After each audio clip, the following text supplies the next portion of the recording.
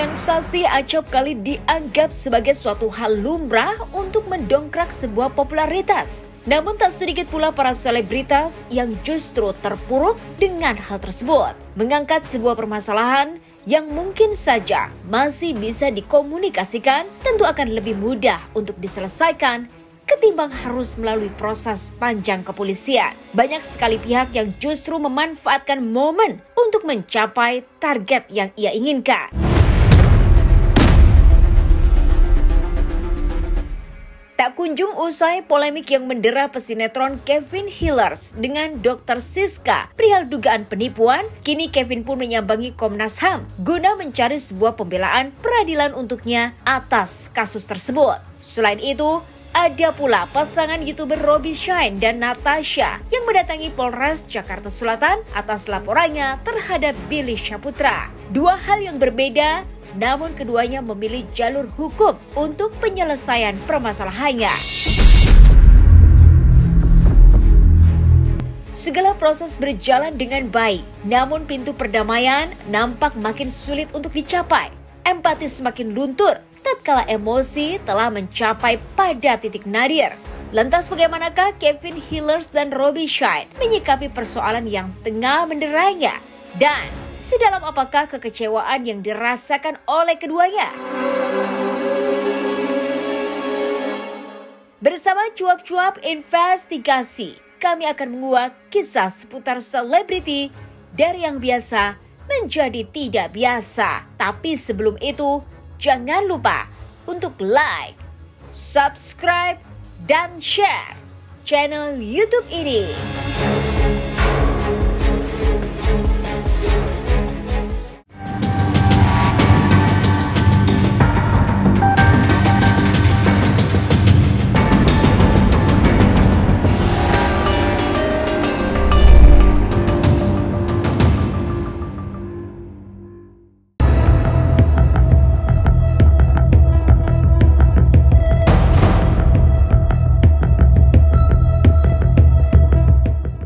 Robbie Shine dan Natasha, YouTuber yang namanya mulai dikenal oleh masyarakat, telah melaporkan Billy Syaputra ke Polres Jakarta Selatan. Hal tersebut dilakukan lantaran adanya dugaan penghinaan yang dilakukan oleh Billy terhadap Natasha. Murka dengan perlakuan Billy, suami dari Natasha akhirnya memutuskan untuk mengambil jalur hukum. Menuntut agar Billy Syaputra meminta maaf dengan sikap gentle. Namun lagi-lagi Robbie merasa dikecewakan karena tak ada itikat baik dari adik almarhum Olga Syaputra tersebut. Lantas apakah yang membuat Robbie Shine dan sang istri kembali mendatangi Polres Jakarta Selatan pasal laporannya pada tanggal 22 September 2022 lalu?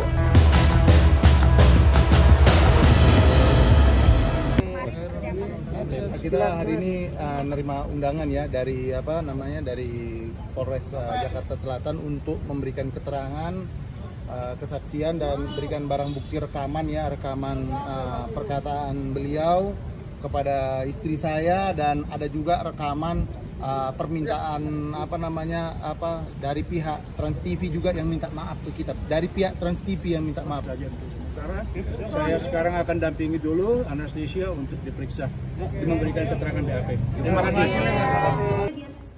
Nah, kita diberikan pertanyaan yang kurang lebih sama penyidik penyidik ya? Ya penyidik kita sudah sampaikan semua BAP sesuai dengan apa yang terjadi sebenar-benarnya. Tidak ada yang ditambah, tidak ada yang dikurangkan dan supaya teman-teman tahu ketahui uh, evidence bukti otentik juga sudah kita sampaikan.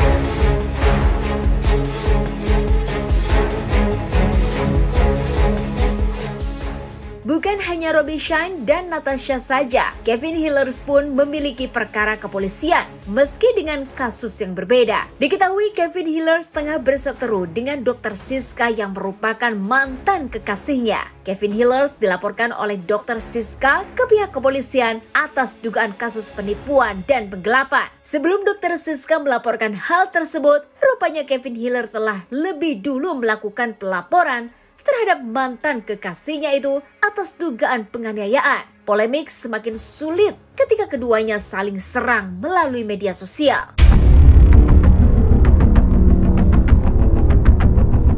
Perasa terancam, Dokter Siska pun melaporkan hal ini kepada LPSK untuk meminta perlindungan hukum. Lantas, adakah langkah yang dilakukan juga oleh Kevin Hiller atas kasus yang menimpanya?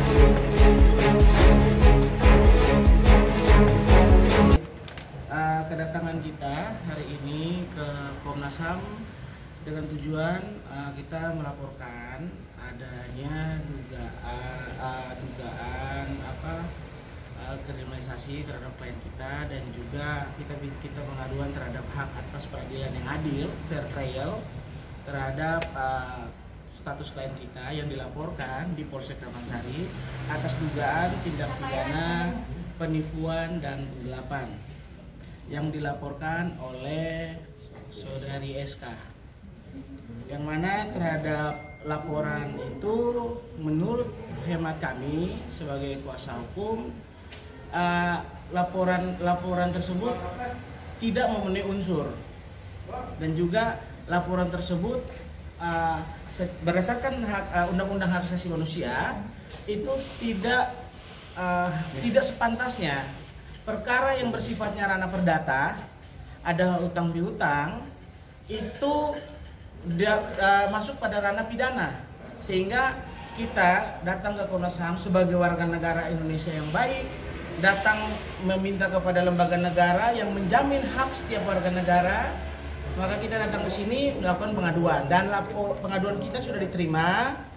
Ini laporannya berkas aduannya ini sudah diterima dan dalam proses. Nah setelah ini kita akan apa uh, bersurat juga ke instansi-instansi lembaga terkait dari Kapolri, uh, Irwasum, Karwasidit, Propam, Kadif Propam, Kapor, uh, Kapolres Jakarta Barat, Kabit Propam, Uh, Irwasda, Polda Metro semua akan kami suratin setelah ini termasuk ke Polsek kita akan surati bahwa kita minta bahwa uh, sebagai kita sama-sama di sini mau mereformasi Polri sehingga Polri dalam perkembangannya itu semakin dicintai oleh masyarakat sehingga perkara-perkara yang sifatnya uh, ranah perdata mohon ditelaah dengan baik.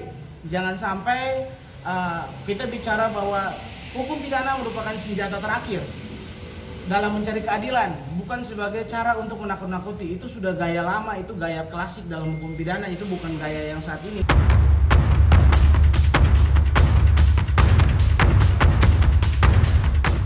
Segala proses telah dilalui oleh keduanya. Lantas adakah respon baik yang diterima oleh Kevin Hiller dan Robbie Shine? Jangan ke mana-mana, tetap di cuap-cuap investigasi.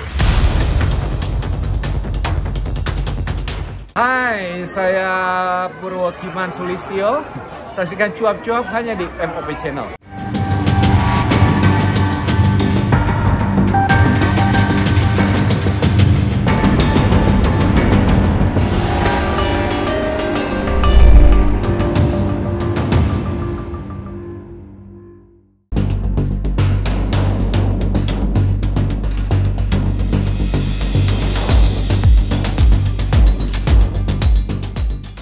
Mengadukan persoalan yang dialaminya kepada Komnas HAM. Kevin Hiller yang didampingi kuasa hukumnya merasa lega karena kedatangannya telah diterima dengan baik. Merasa aneh dengan laporan yang dibuat oleh Dr. Siska, Kevin Hiller menganggap ini tidak semestinya masuk ranah pidana. Menanggapi adanya dugaan permohonan damai, Kevin Hiller pun menjelaskan kepada awak media.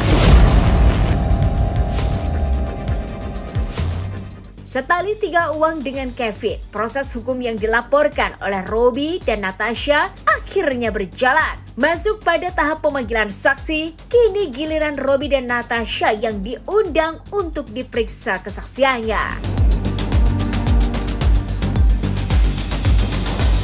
Uh, puji Tuhan sudah diterima dengan baik. Cuman mau sedikit yang saya tambahkan adalah dokter ini dari kemarin sama hari ini di sosial media dia bilang kalau KH meminta perdamaian datang ke Polres Bogor dan tidak datang. faktanya yang meminta perdamaian adalah SK dari unit 4 yang mengirim untuk ketemu dan mediasi di sana. Dan sebagai warga negara yang baik, saya datang ke sana bersama kuasa hukum saya. Kita datang, menghadiri, dan dia tidak datang. Jadi kalau caranya seperti ini, sampai kapan pun saya akan menutup pintu perdamaian dan mediasi. Benar. Dan dia memutarbalikan fakta. Yang minta ketemu mediasi adalah dari unit 4. Bukan saya. Ini buktinya. Katanya itu pertimbangan Rujukannya ada nih pertimbangannya. nggak permohonan dari kita. Di, diperiksa saksi. Hari ini suaminya juga diperiksa si Robi diperiksa sebagai saksi. Nantinya ada beberapa saksi lagi akan dipanggilkan. Semuanya sudah berjalan dengan baik dan tidak ada rekayasa. Semuanya apa yang terjadi itu yang disampaikan kepada pemerintah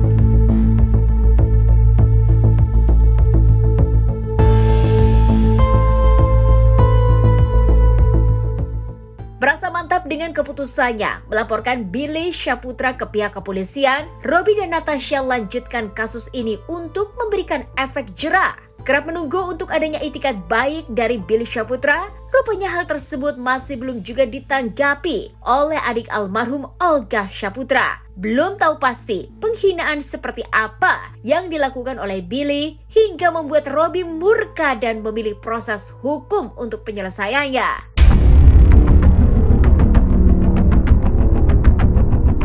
Kevin Hiller juga nampaknya enggan untuk membuka kembali pintu damai dengan mantan kekasihnya. Lantaran laporan yang dibuat oleh Dr. Siska telah diproses sidik oleh kepolisian. Lantas benarkah karir Kevin Hiller yang telah dibangun akhirnya hancur karena adanya perseteruan ini?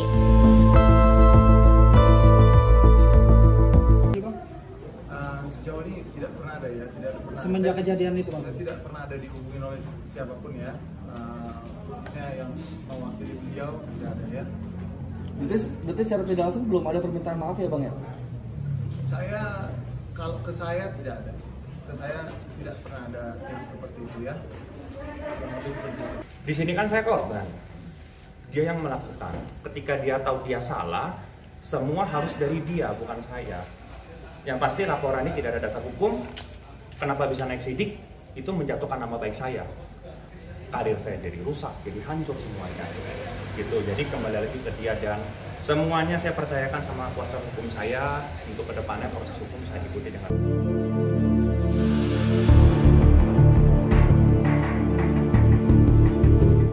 Berurusan dengan hukum tentu saja akan mengorbankan banyak hal. Lantas adakah perdamaian hingga obrolan yang menuju kesepakatan? Jangan ke mana-mana, tetap di cuap-cuap investigasi. Jangan lupa saksikan cuap-cuap hanya di MOP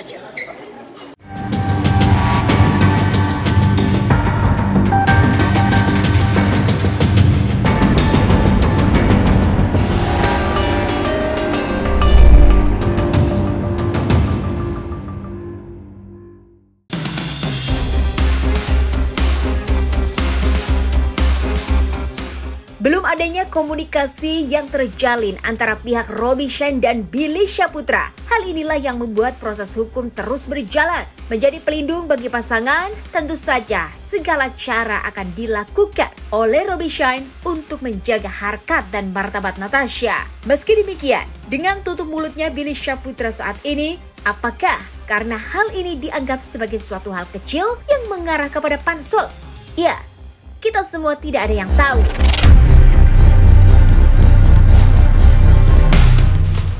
Berbeda dengan Kevin Hiller dan Dr. Siska yang saling serang hingga belum juga menemukan titik terang. Lantas seperti apakah kriminalisasi yang dirasakan oleh Kevin Hiller dari kasusnya tersebut?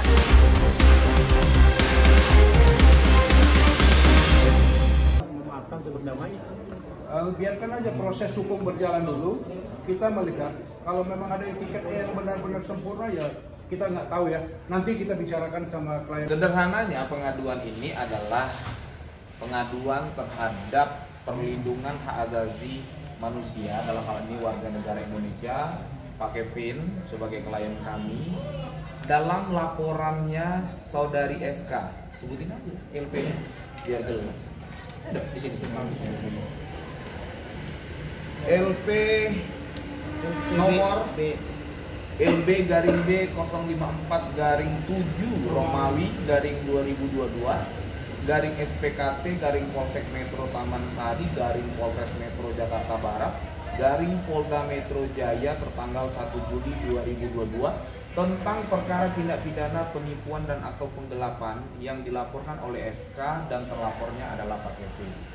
Sederhananya kasus ini dari dokumen yang diberikan kepada kami eh, sebagai kuasa hukum Pak Kevin, ini masalah tagihan. Tagihan ini jelas perdata.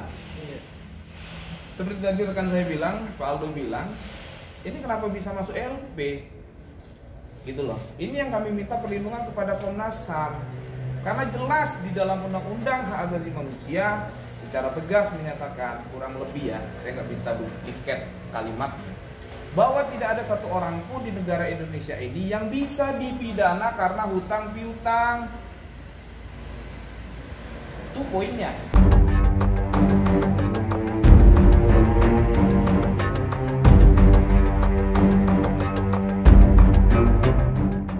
Robi Shine kerap menyampaikan untuk adanya permintaan maaf dari Billy Syaputra. Rupanya sang kuasa hukum memiliki pandangan berbeda dengan kliennya. Bagaimana mungkin ada mediasi dengan pihak Billy jika kuasa hukum Robi saja belum mau untuk berkomunikasi? Persepsi lain pun kian muncul tentang apa yang sebenarnya menjadi tujuan mereka.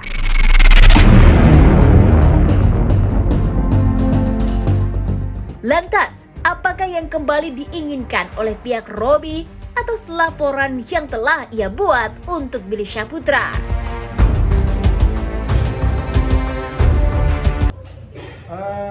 Untuk sementara kita belum mau berkomunikasi karena ini biar dulu dijalankan supaya ini pihak terlapor ini juga mengerti hargailah wanita. Kalau saya bilang ya terus bahasa-bahasa yang tidak perlu disampaikan secara umum bahasa-bahasa kotor itu sudah lama kita nggak dengar itu kok dikeluarkan bahasa itu sama sekali udah jarang dipakai Gimana ke depannya gitu? Ini akan dilanjutkan ya oleh pihak eh, kepolisian, eh, khususnya dari Polres Jakarta Selatan. Nanti biar mereka lah yang lanjutkan karena yang tahu hukum kan mereka. Saya kan cuman eh, melaporkan apa yang terjadi keadaan sebetulnya itu aja ya.